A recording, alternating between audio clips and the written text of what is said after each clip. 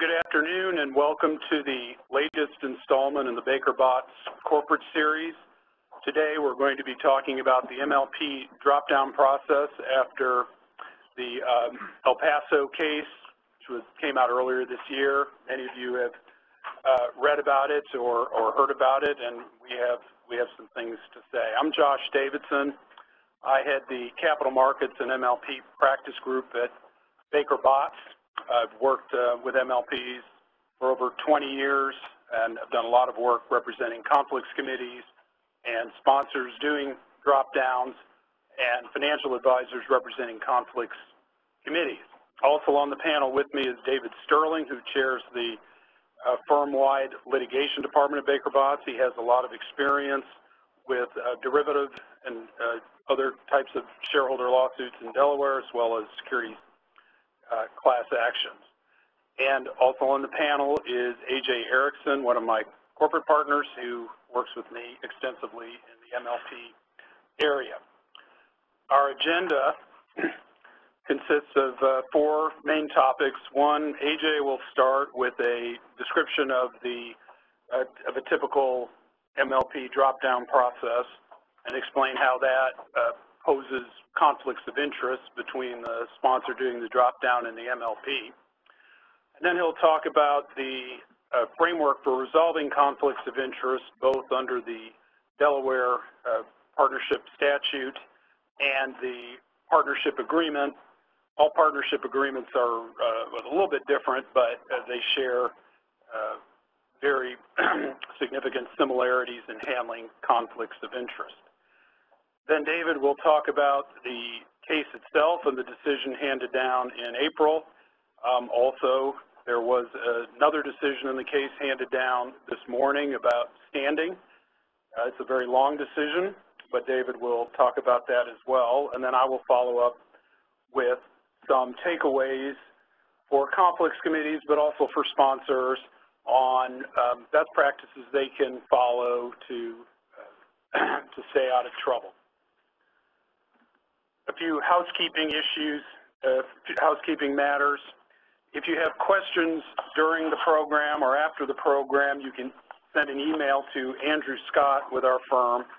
Uh, Andrew's email address is andrew.scott at bakerbotts.com, A-N-D-R-E-W dot S-C-O-T-T at bakerbotts.com. This program has been approved for CLE credit. In Texas and California, it's one hour of participatory credit. And in New York, it's one hour of professional practice, transitional and non-transitional credit. We will provide the number for your affirmation form uh, later in the program. Also, a recording of this webinar will be circulated within 24 hours and the slides will be posted to our firm website at www.bakerbotts.com. And with that, I'll turn it over to AJ. Great, thanks, Josh. Um, so we'll begin by talking about the drop-down process, just, just basic nuts and bolts. But the key, of course, to MLPs is growing your distribution over time. And the key to selling an MLP in a normal market, um, I don't know if anybody can sell an MLP uh, right now, but the, the key to selling that selling that in the IPO is the growth story, and, and the easiest growth story to tell is is to say, look at our great sponsor. We're starting out with a handful of assets, but all of this other stuff is over here to be sold to the MLP over time, and in so doing, grow the distributions on a per unit basis. Um, when those when those assets get dropped down and which assets, that's a decision that the sponsor is going to make. And, and when when they decide to do that, it begins with a proposal from the sponsor to the board of, of the MLP's general partner. That asks, or that that that proposal will have various elements, but typically you'll see, you know, what is it that we're offering? what's the reason that we're offering this asset to the MLP right now? What, what's our our view as a sponsor on, on the price and, and potentially the form of consideration is other than all cash? Um, the sponsor will have some views on the best way for the MLP to finance that transaction. Um, they'll provide some projections to the sponsor on what the cash flow stream looks like and the other financial performance going out. And, and part of that, depending on the asset and, and the sponsor, there might be some other agreements that are proposed in connection with the drop down. For example, if you're an E&P company putting in gathering assets, um, part of what makes that acquisition works is, is you're going to agree to be a big customer for those assets and provide some commitments uh, for an extended period of time. The board then that receives this proposal uh, almost invariably is going to take it and turn it over to the conflicts com committee to handle for reasons that we'll talk about in a moment. Um, the committee is empowered to uh, hire its own advisors um, on the partnership's dime. That'll include typically a financial advisor who will speak to the fairness of the consideration, as well as legal advisors to, to advise the board on their duties and to negotiate the contracts with the sponsor. Uh, management, the management team at the sponsor perhaps the MLP, and they're probably the same people in many instances, will make a presentation to the committee and the advisors about the assets, about the transaction terms, really about the industrial logic of what's being proposed. And then those advisors on behalf of the committee, and then the committee as well, through their own questions, will perform, perform whatever diligence they think is required to ultimately make their determination that the transaction in the best interest of the partnership agreement. Uh, for all of the agreements that are involved, the, the sponsor is going to take the first cut at all of that and propose that either as part of the initial proposal or after floating the idea and getting uh, getting an indication back from the MLP that this might be something they're interested in. They'll propose all those forms and the lawyers really get to work. Um, so what are the things that the committee is looking for when it makes its evaluation of the transaction? One of the things we'll talk about some more is, is a key threshold question is the committee has to understand and be comfortable with the business rationale. Uh, there are lots of assets out there that the MLP could buy, and there's there's nothing that says the sponsor is the only shop in town. Um, so it, it's thinking about the asset that's being proposed in the context of the MLP's overall portfolio and whether this is something that makes us makes us better off as opposed to something that we could find from an unrelated party that also is going to grow our distributions. Uh, the financial advisor is going to have a preliminary view on the price being proposed and whether we're in the right neighborhood start from or, or, or, or miles apart. Um, and then lawyers will always have thoughts. Um, if the committee wants to move forward because kind of those threshold those threshold questions are met, then, then you really get into full negotiation, which culminates with, with approval. Uh, at the approval stage, the committee typically hasn't been delegated full authority to sign off on the transaction. What they're really, what the sponsor is, or excuse me, what the general partner board is really looking for from the committee is a recommendation that'll be a special approval under the partnership agreement. They'll take that recommendation, approve the transaction. Approvals also happen at the sponsor sponsor level, and then you're, you're signing, announcing, and hopefully the market is responding favorably deal that you've cut. Well, you can, you can see in all of this there's, there's a huge conflict of interest. Um, the sponsor owns the general partner. Really, there's nothing that the MLP could do if the sponsor says, no way, we don't want you to do that since you've got the power to put, put whoever you want on the board. It's the most controlling shareholder that you can have. Well, for, for Delaware, uh, in a partnership setting, if you don't say anything or don't set some contractual standards, the duties that you have as a director or as a general partner are really the same as the, that you'd have in a corporation. A duty of care, duty of loyalty, duty of good faith. Well, just like in a, in a corporation, when, when you're dealing with a controlling shareholder, you've got a related party transaction, that's something that the courts are really going to take a, uh, take a close look at. Corporations, you get, the courts are, are more deferential to the, the decision made by the board if, if it's gone through a, a special committee. And that's a committee of directors who are disinterested. Well, for partnerships, the world is even better. And really what makes the whole drop-down system work is that the partnership statute, unlike the corporate statute, says, yeah, these are defaults, but you don't have to follow them. If you'd like, by contract, the partners, through the partnership agreement, can eliminate all of the default fiduciary duties under Delaware law and, and create some contractual standards. And so that's what people like Josh and and other uh, other gray-haired or or no-haired folks have, have done over the Careful, careful. is create a form that really works well works well for this and imports fiduciary-like concepts into the partnership without but without being as as rigid. So you, you you really rewrite all of the rules that govern it. The one thing you can't eliminate is the implied contract or the implied covenant of good faith and fair dealing. But really what that is is to say if, if, if there's a gap, if there's something that you haven't spoken to in the, in the partnership agreement, course you're going to write into that what makes sense. But over the years, smart people have, as best as we know, closed all those gaps.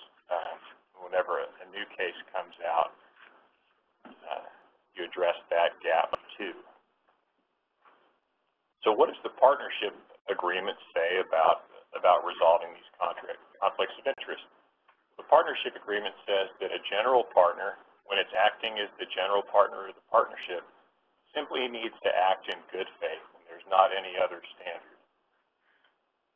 And then goes on to define what, in this context, good faith means. Uh, there are slight variations among partnership agreements about how you define it, but, but the basic definition is a subjective belief that, that the action is either in or in, not opposed or not adverse to the best interests of the partnership. Um, you know, that, that's a terrific standard. Um, it, it's, it's subjective, not objective in, in, all but the oldest of partnership agreements. And what makes what makes El Paso so unusual is that the court said even though they said they have a subjective belief, court says, no, we, we don't really think you did. So it's kind of kind of a strange decision. Um, but an action that's taken in good faith is defined in the partnership agreement is, is binding on all the partners, and then the partnership agreement also creates a presumption that the general partner and its directors acted in good faith. So that really puts the burden on the plaintiffs to show that the directors didn't subjectively believe what they were doing was in or not adverse to the partnership. So you can see why that's such a difficult, uh, why that's so difficult for plaintiffs to do. There are some other ways under the partnership agreement that you can resolve a conflict of interest. Um, but in the drop-down context,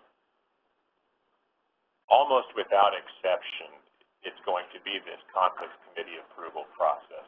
You could put it to a vote of your, your unit holders and see if the, the common unit holders, other, other than the general partners and affiliates, uh, approve a transaction. But that's a that's a pretty drastic step to take when you've got such a, a nice built-in mechanism. And, and there are other standards that where the board could determine that this is uh, as good as a third-party deal or, or fair and reasonable, taking into account all of all of the other circumstances, including other transactions. Maybe this one's not great, not as great, but some, there are some really good deals with the, the sponsor. But again, because you've got such a clear path with the conflicts committee mechanism. That's that's the path folks go down. And I would add that I think the market expects there to be conflicts committee approvals in those types of transactions. Absolutely. Um, so, so who can be on a who can be on a conflicts committee? Well, uh, like the special committee in Delaware, you know, the thought is you, you have people who are who are disinterested in the transaction. They have no reason to look out for the interests of, of anyone other than the, the partnership and, common unit holders. Although the, the duty is just to the partnership.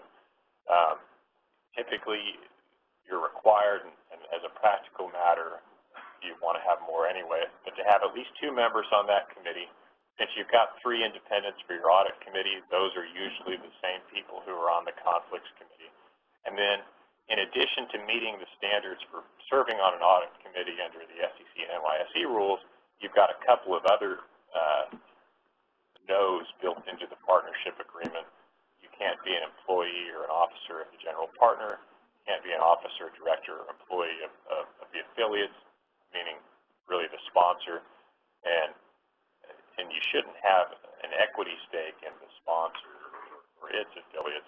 Sometimes that's not an, abs an absolute standard, but as a as a practical matter there too, it, it's a best practice the only equity that you have in, in the MLP or its affiliates is just common units or any LTIP awards that you might have in, in, in the partnership. So when a court is looking to see whether a director is independent for purposes of serving on the conflicts committee, the court should just look at this definition. In practice, courts will consider other types of relationships, which um, AJ will talk about, that uh, aren't technically a problem under the partnership agreement, but might make the court think that uh, the independence is nonetheless compromised and therefore uh, harder for that director to make a finding of uh, a subjective finding that that person had a subjective belief that the transaction was in the best interest of the partnership. Yeah. Kind of, kind of thinking about what are the relationships that are problematic. Uh, I was thinking a little bit about Spaceballs, the Mel Brooks movie, and and there's the scene in there. As we all do. Right. But there's a great scene in there where, where Dark Helmet and Lone Star, you know, Darth Vader and Luke Skywalker figures are about to have their lightsaber battle and says, you know, before, you know, before I kill you, you need to know something. I was your father's brother's nephew's cousin's former roommate. And, and he, and he says, well, what does that make us? Absolutely nothing.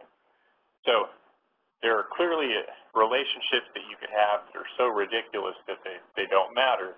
But somewhere between between Mel Brooks and what the partnership agreement and the stock exchange requires, there's a level of inquiry that you should have, and that, that gets fleshed out some in, in, in the cases.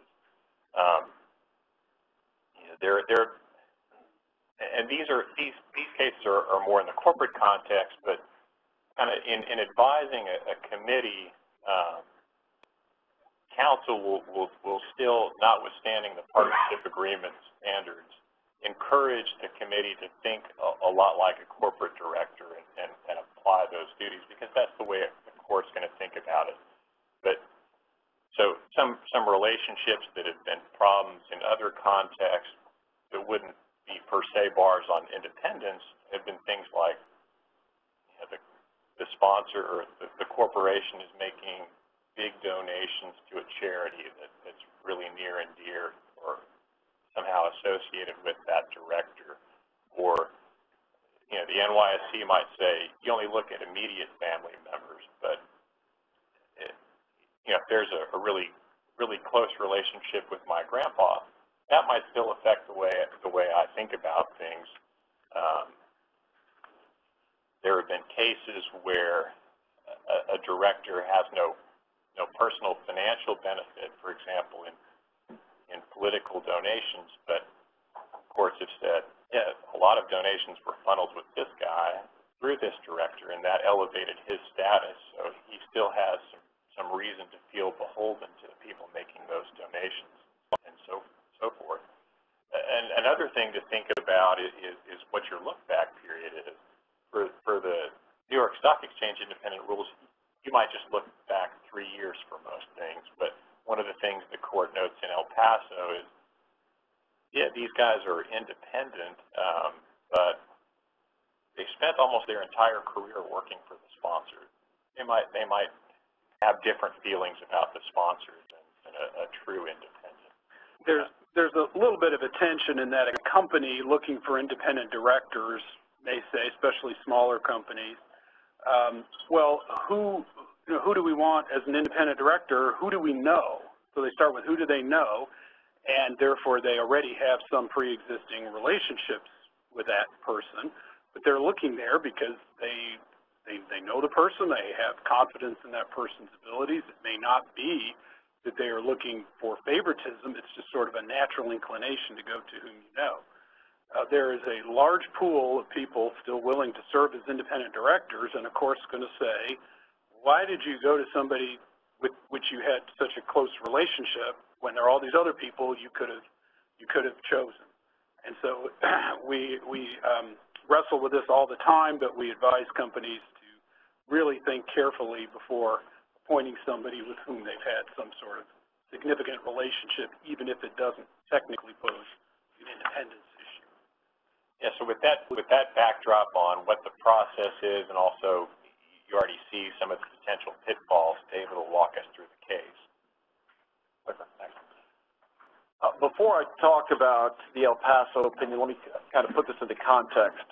The El Paso opinion came down in April of this year, and it was kind of a blockbuster, not because it purported to create or rewrite Delaware law, but just because from a factual standpoint and from a result standpoint, it was highly, highly unusual. I think history is going to say that the April opinion, which will become known as El Paso 1, is going to get dwarfed by what came out this morning, which will be known as El Paso 2. Because what happened in El Paso 2, to make a long story short, shortly after the trial of El Paso 1, Kinder Morgan consummated its roll-up of all of its affiliated entities, including the El Paso MLP under traditional standing doctrines and under traditional notions of derivative law, once the shareholder no longer owns the security, he or she can no longer uh, prosecute a derivative action. And that doctrine holds true even up until the time that you collect the judgment. So under traditional notions of Delaware and derivative law, the shareholder, Brinckerhoff, lost standing four days after the trial closed when Kinder Morgan consummated the roll-up and El Paso MLP ceased to exist. That issue was raised before the El Paso 1 trial. Vice Chancellor Laster decided to not decide it because it, it involved, as he recognized, some very, very thorny issues of Delaware law, and he figured if the defendants win the case, the trial, then I don't have to deal with all this. The defendants lost the case, therefore he had to deal with a standing question. His opinion just came out this morning. It is 110 pages of Travis Laster attempting to harmonize and synthesize disparate elements of Delaware law on standing, uh, the nature of derivative suits versus direct claims, when can a shareholder prosecute what ostensibly was a derivative claim post losing his or her security interest by a merger and so forth. And there's going to be a lot written about this. So I think history is going to say El Paso 2, which really does try to create new law, is going to be the more significant legal opinion. But El Paso 1 is the more interesting one from a factual perspective. So what happened in El Paso 1? El Paso 1 involved, in effect, two drop-downs. There was a spring drop-down that the court talked about at some length, in which the parent sold El Paso MLP a 51% interest in Southern LNG Elba, which owned an LNG terminal and a 190-mile natural gas pipeline connecting the terminal to an interstate pipeline for 963 million. Now, it's significant that the market reaction to the spring drop-down was not positive.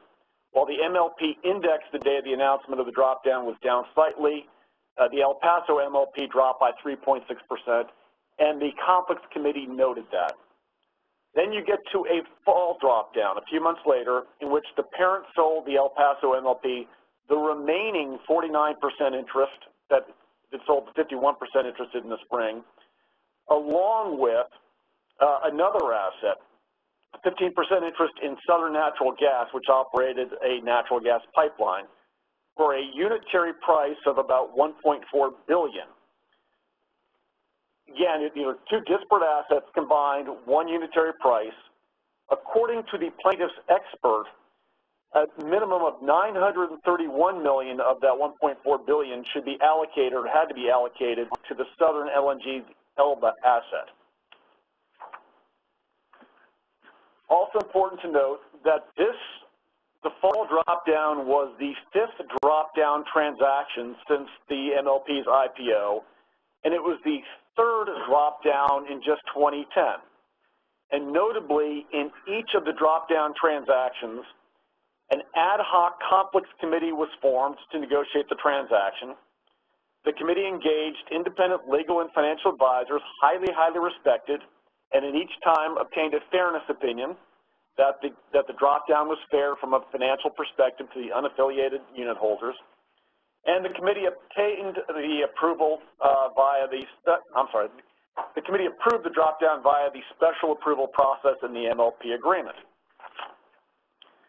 So back to what AJ said before, the MLP agreement had just a good faith standard which made it conclusive and binding upon everybody so long as two of the three conflicts committee members had a good faith belief, good faith subjective belief that this drop down was in the best interest of the MLP. And here you had three guys, all very respected business people, who said, yep, I believe this was in the best interest of the MLP. They were advised by very good counsel, advised by an outstanding financial advisor, and yet, after a three-day trial, the court said, nah, uh, Uh, I believe that the committee, and this is a quote, failed to form a subjective belief that the fall drop-down was in the best interest of the El Paso MLP. On that basis, the court determined that the general partner violated the partnership agreement by causing the MLP to engage in the fall drop-down. So again, what makes this so significant is this is the only case we or anybody in Delaware know of which the court imposed liability in a situation like this. The court did not impose liability on any person or entity other than the general partner because the court viewed this as a breach of the limited partnership agreement and the individual uh, defendants, the conflict committee members, were not parties to that agreement. The court accepted the plaintiff's expert's testimony that El Paso MLP paid $171 million more for the LNG asset than it should have, and it entered judgment for that amount. So why did the court rule against the committee? The court was certainly highly critical of the committee, its financial advisor, and the process by which the fall drop-down was approved the court said that none of the problems it identified that I'll talk about in a minute, or even a combination of the problems, would have overcome the presumption of good faith that AJ talked about, as long as the committee members reached a rational decision for comprehensible reasons. But in the court's view, quote, the number of problems reached a tipping point, unquote. The court recognized that the committee met the independence standards, but it took a, a couple pot shots at the committee members because two of the three had significant past employment ties to the parent and significant ownership stakes in the parent stock, but the court really didn't hang its hat on independence at all. Um, in addition, the court criticized the rigor of the financial advisor's valuation analysis and changes that it made in, the in its analysis of the fall drop-down vis-a-vis the spring drop-down. But again, the court's decision really hung on the conduct of the committee members, not the FA. The court essentially, throughout the opinion, cited six reasons for finding that the committee did not have a subjective belief that the transaction was in the best interest of the MLP. First one, the court believed that the committee lost sight of its responsibilities. Fundamentally, the court believed that the committee took its eye off the ball. Quote from the opinion, they thought the fall drop-down would allow El Paso MLP to increase distributions in its common units while achieving parent's goal of raising inexpensive capital. Neither factor meant the transaction was in the best interest of the MLP, unquote. the court determined that the committee disregarded their known duty to determine that the fall drop-down was in the best interest of the MLP. Second reason, the court believed that the committee essentially, and this is another quote from the opinion, just went through the motions. The court repeatedly talked about what it called the pattern of practice in drop-downs between the parent, the committee, and the advisors. This was the fifth drop-down. The committee noted that this was not, um, the court, the court noted that this was not a standing committee, it was an ad hoc committee comprised every time all five drop-downs of the exact same members. All five times the, the uh, conflicts committee hired the same law firm, the same financial advisor. Each time, uh, one particular member of the committee served as the negotiating person uh, against the parent. Each time, he obtained some slight price improvement from the parent's offer, and then special approval was consummated.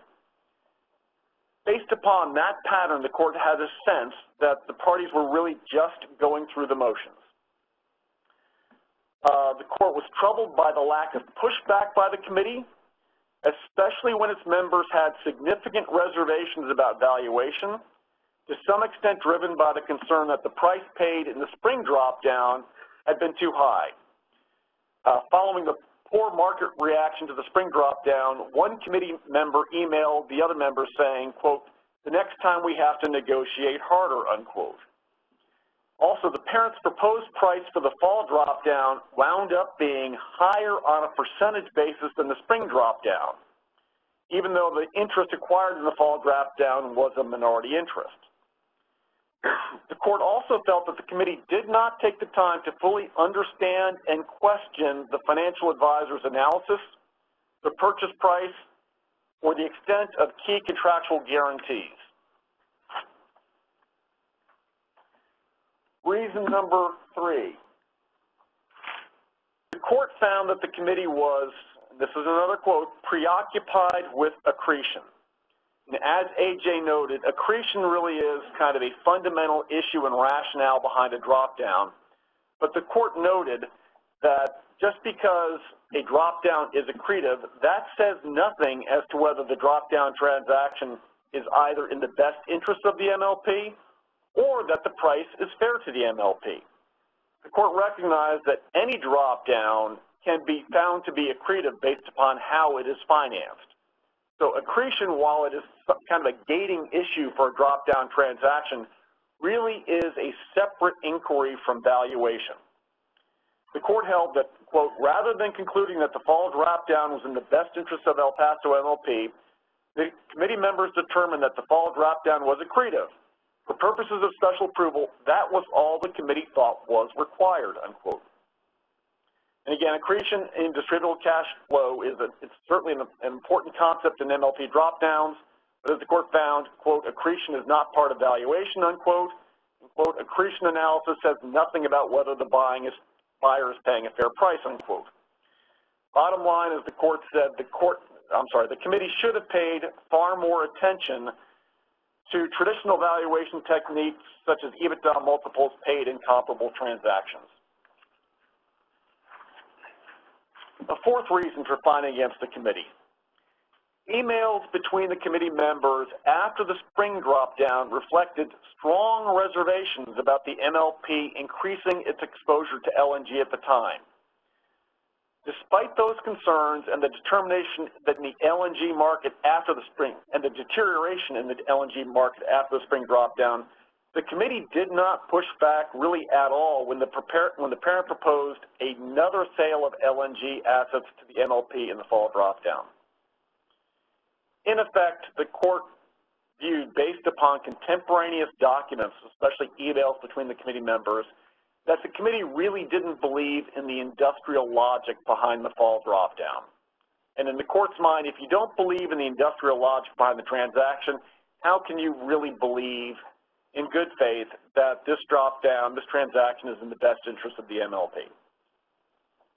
Another uh, fact point was while selling LNG assets to the MLP, parents management at the same time was declining other opportunities to invest in LNG pro projects for the parent. Rather than exercising its right of first refusal, it allowed the sale to a third party of 30% of another LNG project in which Parent held a 50% interest.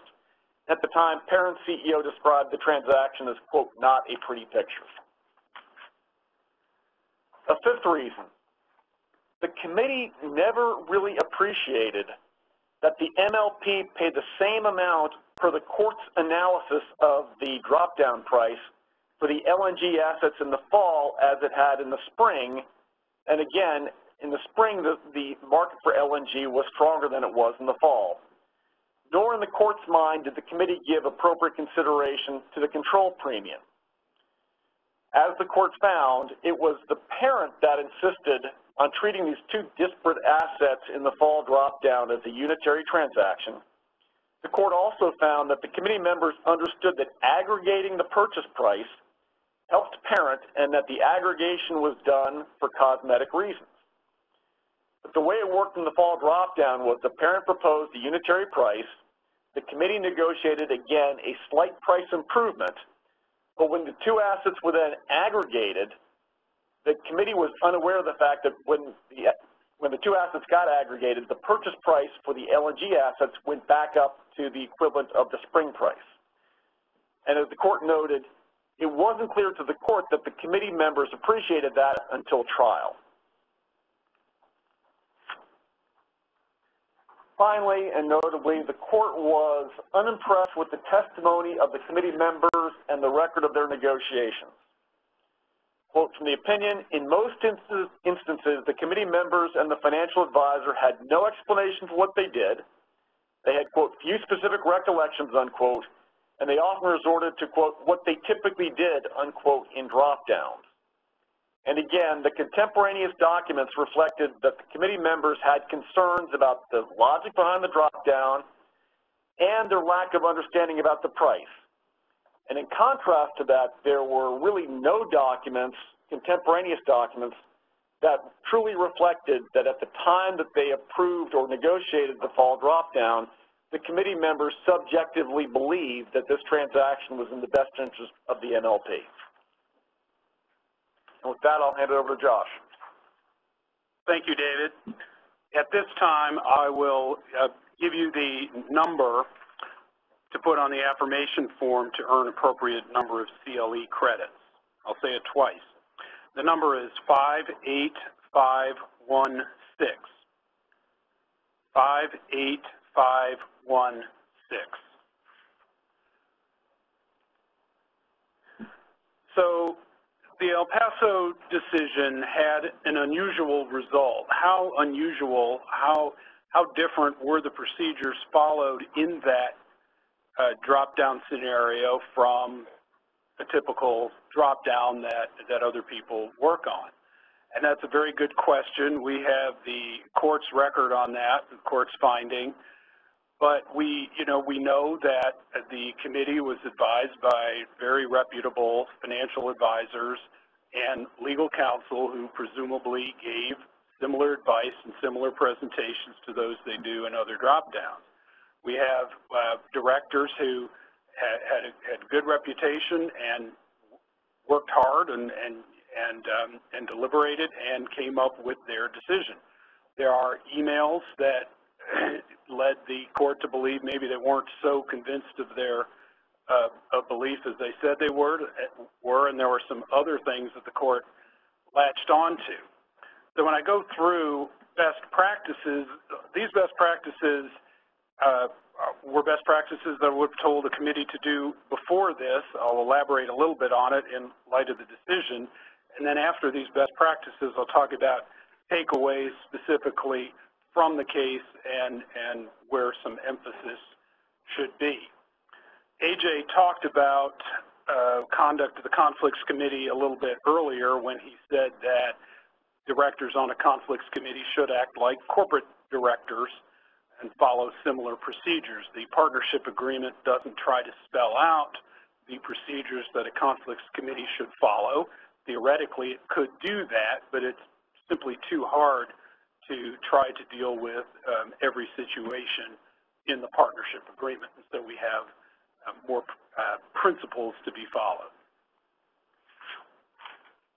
the, the first best practice relates to authorization. The board of the general partner needs to authorize the conflicts committee to evaluate and negotiate the transaction. That word negotiate years ago was, was somewhat controversial whether the committee should actually have that authority, but, um, but evaluate, negotiate, and then recommend to the full board.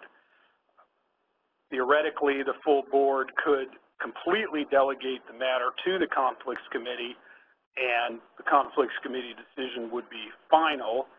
Uh, but that is unusual. Most boards like to retain the final authority, again, theoretically, to have the ability to approve a drop down even if the conflicts committee voted no. I'm not aware of any situation in which anybody has done that, but um, that remains a possibility. These resolutions have become fairly standard. They give a fairly broad grant of authority to the committees. They certainly authorize the committees to hire their own independent counsel and financial advisors at the company's expense. But when you when you follow technical, um, you, have to follow provisions of the partnership agreement, you want uh, this to be well documented on what authority the committee actually has full information, due diligence. Uh, again, this is reasonably common sense that a committee should be well informed about the transaction that has been put in front of it. Typically, the management will give a presentation to the financial advisors, to the directors, and to the lawyers. And I always recommend that the directors attend that presentation in person if they can and ask questions, uh, which uh, most of the time is what happens.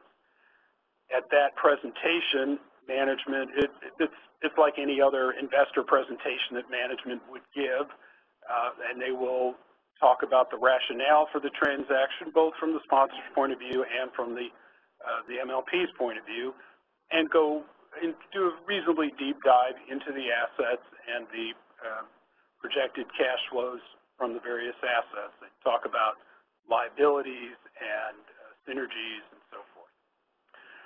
Lawyers uh, for the committee will do due diligence, typical acquisition diligence, and report back to the committee on any material issues they find. And of course, the financial advisor's presentation is diligence from the committee's perspective.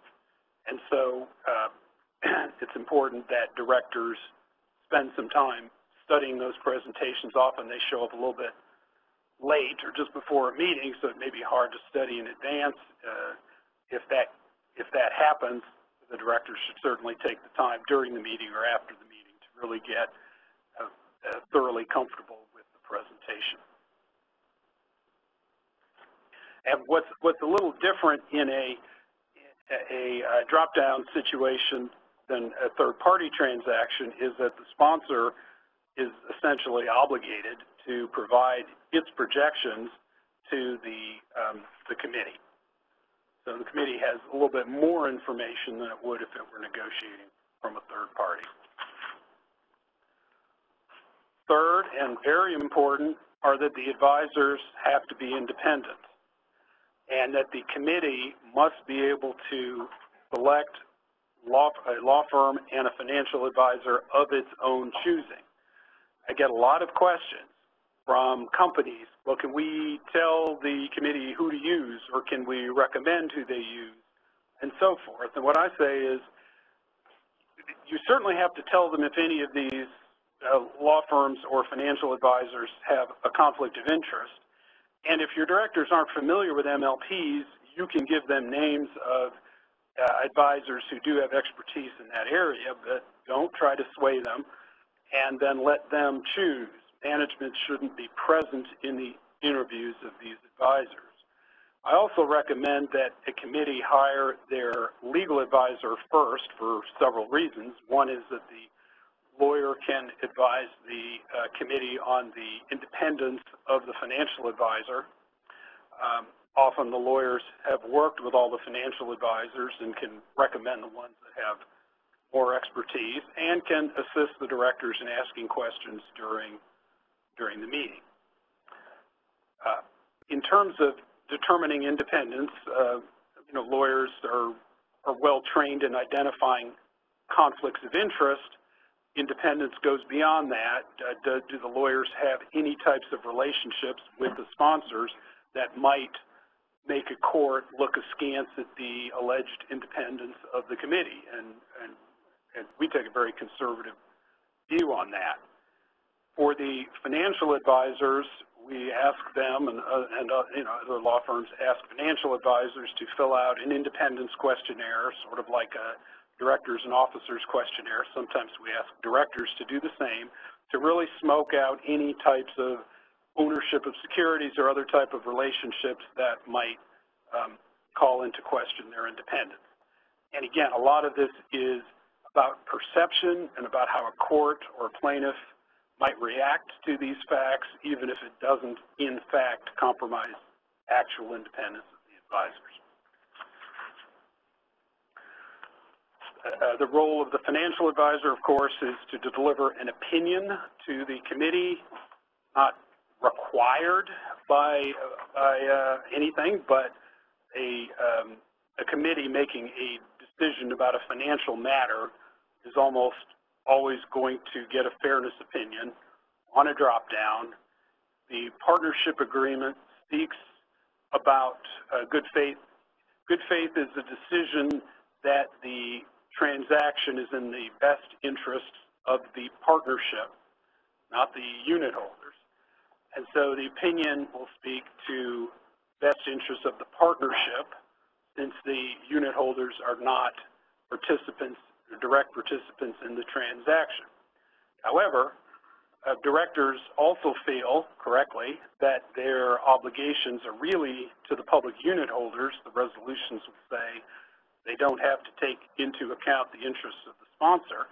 And so often they will want the financial advisor opinion to speak um, about the fairness to the public unit holders. There's a mixed practice uh, about that. Meanwhile, the legal counsel to the committee uh, advises the committee members on their duties under the partnership agreement. Again, each partnership agreement may be slightly different. They do not typically draft the agreements, but they will review, comment on, and negotiate the agreements presented. They will perform the legal due diligence and advise the committee about their findings.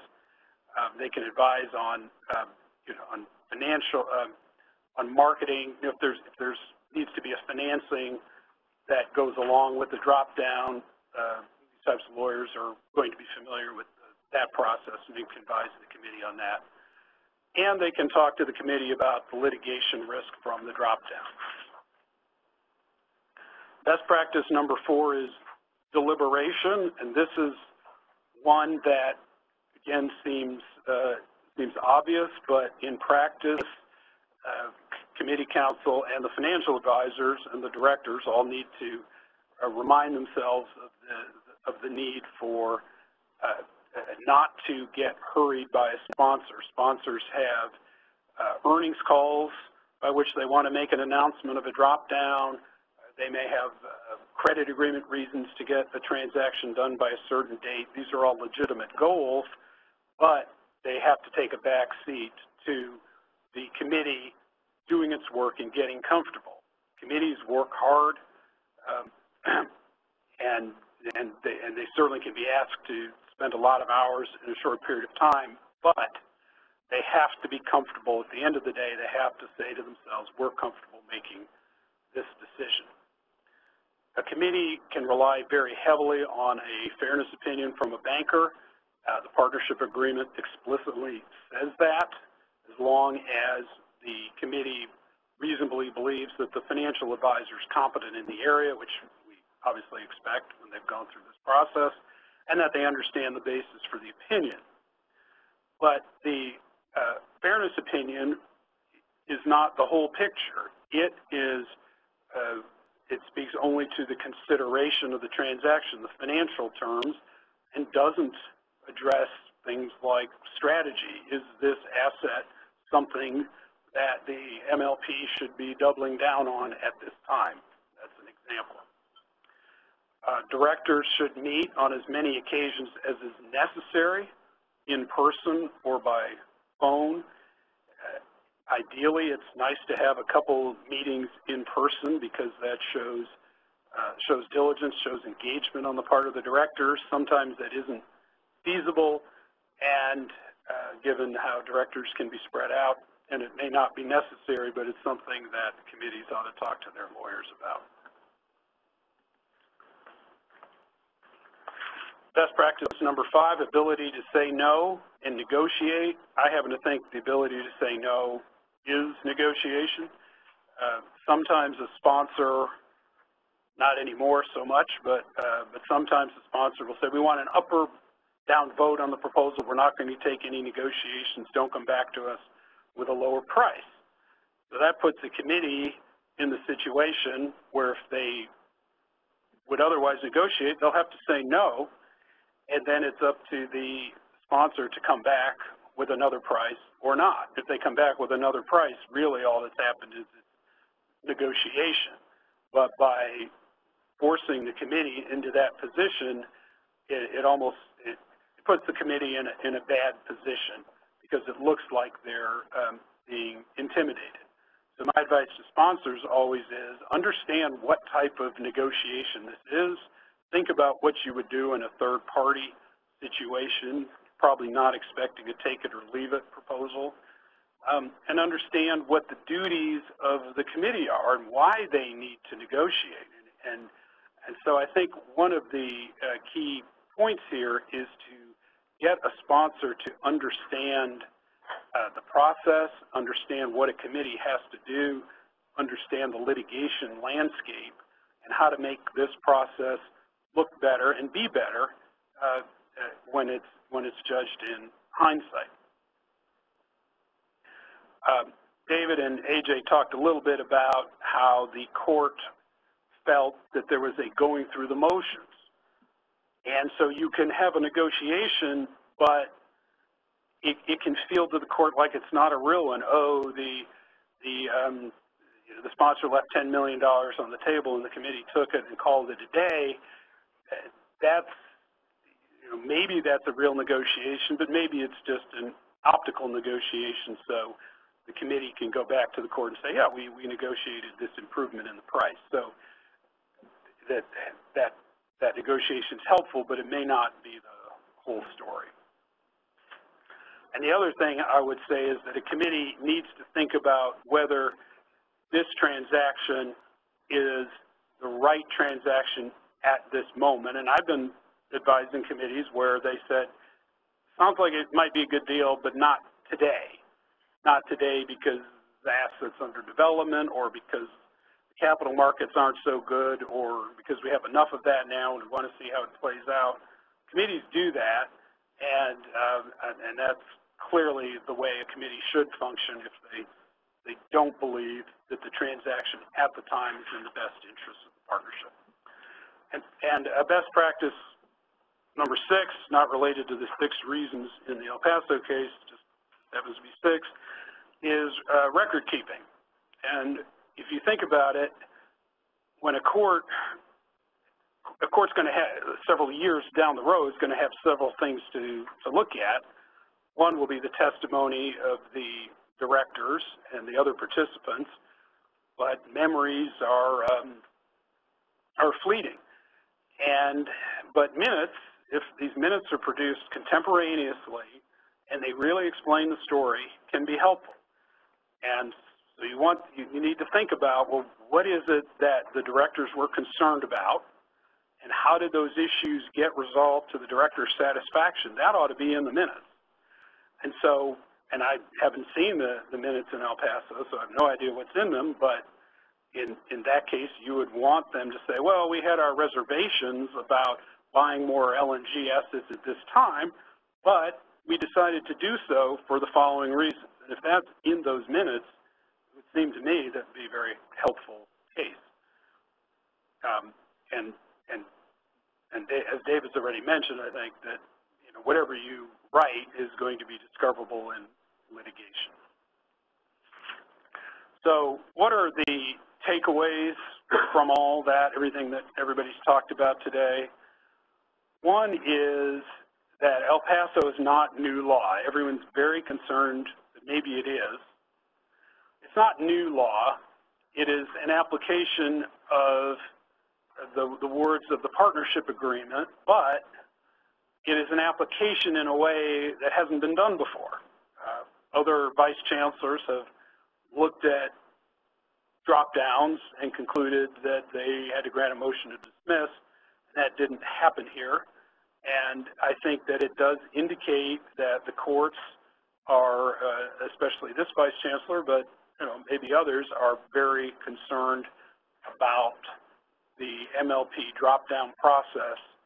And uh, there's a, there's a signal here that everybody ought to step up their game, work very hard to make sure that they're following the correct process.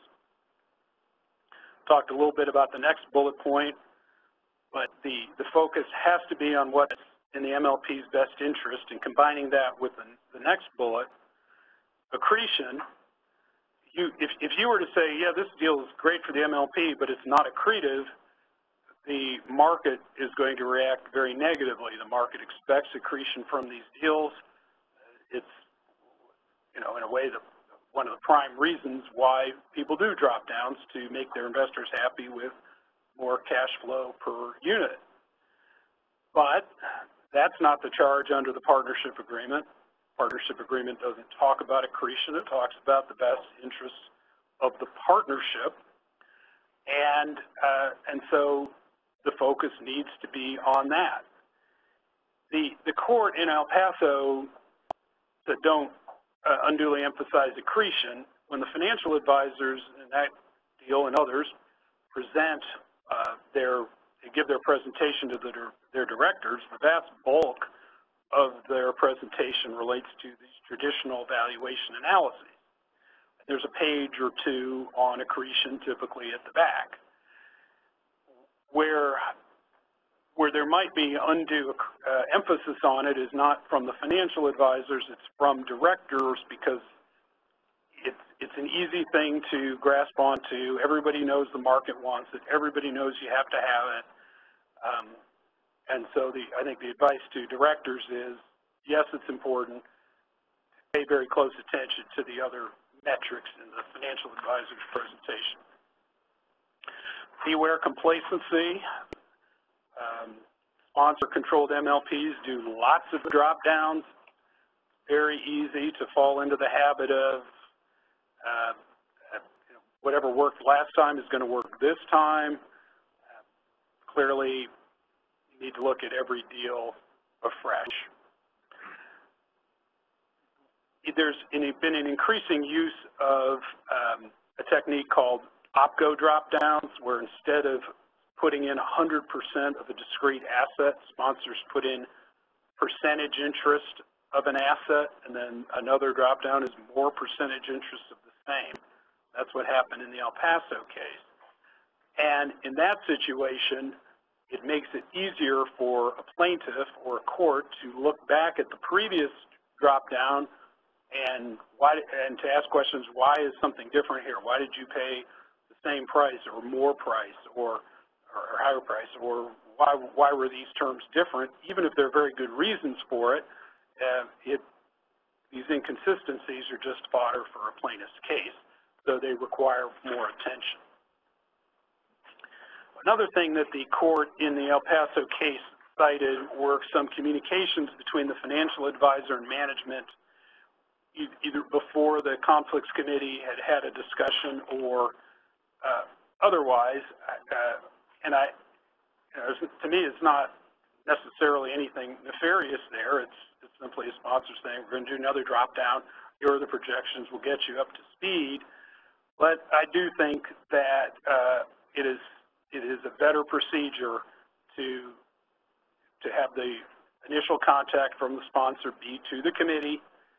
The committee may, after all, want to use a different financial advisor in this situation and uh, they need to be the ones who make the decisions about that.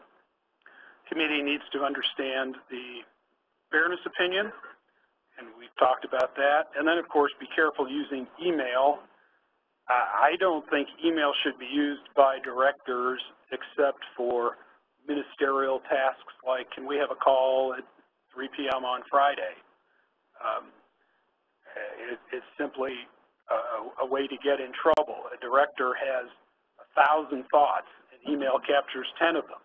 And those 10 thoughts may be the 10 negative ones, but the subsequent, uh, subsequent cogitation by the director, oh yeah, I got comfortable with this point, that's not an email. And if the director has trouble remembering that point four years later, then it's that email that's really going to stand out there. And that, uh, that concludes our presentation. We do have a few minutes for questions. We've gotten any by email, or if anybody in the room has questions, we're happy to take them. Yes, Dan.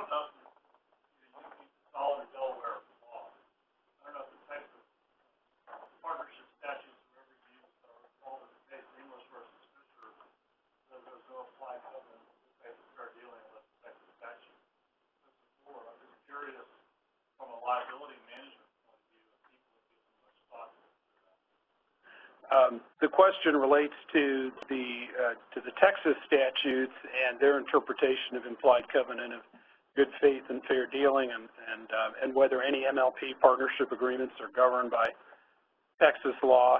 Um, I'll answer that latter one. I can think of one operating partnership agreement done like 20 years ago that was governed by Texas law, but it's highly unusual. And David, if you could talk about those points. Well, I, I think the, that at least in Delaware, the implied covenant of good faith and fair dealing, it's something you can't disclaim like fiduciary duties.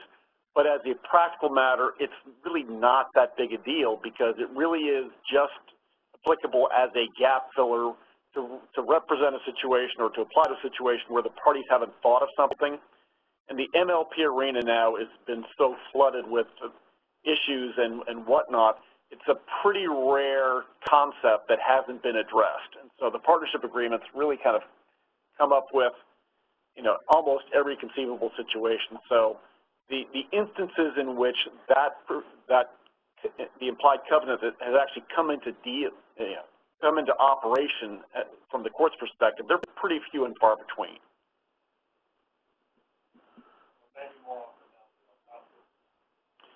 Well, we'll see. Um, now that the now that El Paso 2 came down this morning, El Paso 1 can now go up on appeal. Everything was held kind of in limbo while the standing question was, was addressed.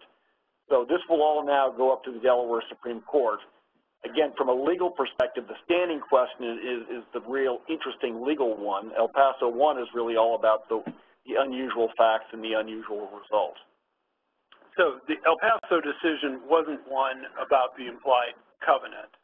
And uh, Vice Chancellor Laster has written about about that implied covenant and, and said what you don't want to do is have that become a way to um, uh, shoehorn other types of provisions into it. We have to guard against that. And so far, there have been a case or so that has found a violation of.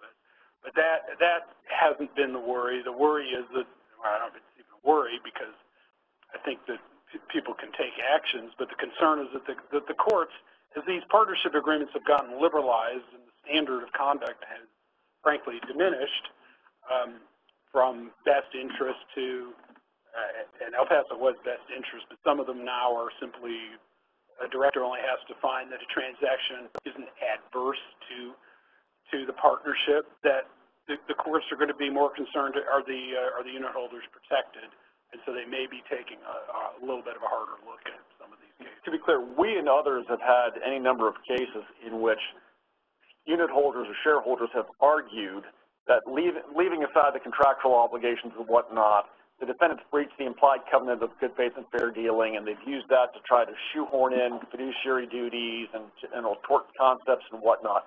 And the courts have been very, very resistant to that. I mean, they've actually said you have to be specifically complaining about some loophole or gap in the partnership agreement or else it's not going to apply. Any other questions? Yes.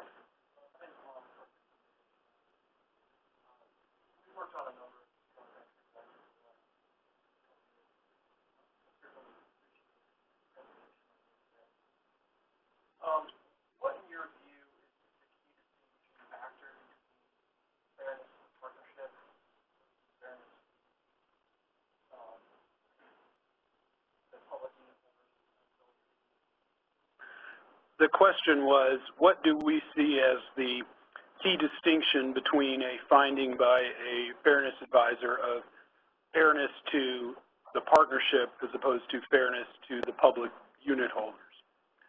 Without focusing on accretion dilution, to your point earlier, that you shouldn't overly focus on accretion. Without, without focusing on accretion dilution. So the, the partnership agreement standard, for better or worse, says that a director's duty is to look out after the best interests of the partnership. An independent director feels that we're looking out after the uh, the interests of the partnership, but the sponsor can take care of itself. And when you remove the sponsor from the equation of the partnership, you're left with the other equity owners who are the public unit holders. And so they are looking at, they feel that that's really who they're looking out for. In a merger context in which the unit holders are getting consideration, I don't think there's any question that the opinion is going to go to fairness to the unit holders. Not, and the partnership agreement doesn't say fairness to unit holders, but practitioners interpret it in that context. It can only mean fairness to the unit holders in a merger. In a drop-down, um, really what it is, it's the partnership engaging in a transaction. If it's fair to the partnership, are there situations where the sponsor's interest in it skew that analysis so somehow it could be fair to the partnership and not the public unit holders? It's Probably difficult to come up with that situation. Um, I don't know if you have any thoughts on that. Uh, well, from a litigation perspective, there is an argument that if, and this is the issue we have going on right now in the appeal of the Kinder Morgan roll-up. We represent the Conflicts Committee of Kinder Morgan. Um, this same court Uh, in Delaware dismissed a challenge to that roll-up. It's on up an appeal now, and the, the only argument on appeal that, that the unit holders are making is that in that case, the, the opinion was directed not only as being in the best interest of the MLP, but also being in the best interest of the unaffiliated unit holders. And the argument on appeal is that by voluntarily you know, taking the position, and a, public uh, position, that the transaction was in the best interest of the unaffiliated unit holders. The, the plaintiff is arguing that by doing so, we, in effect, adopted uh, the obligation to ensure that, in fact, the transaction was in the best interest of the unaffiliated unit holders in almost like an entire fairness type environment. We think it's a pretty ridiculous argument, but nonetheless, it's out there, and, and until the Delaware Supreme Court rules in our case, it's not 100% settled. Any other questions? Okay, well, thank you, everyone, for participating. We'll be having another um, corporate series in January. I believe it'll be the second week, Tuesday or Wednesday, and it'll be on uh, MD&A. So hope you can join us. Thank you.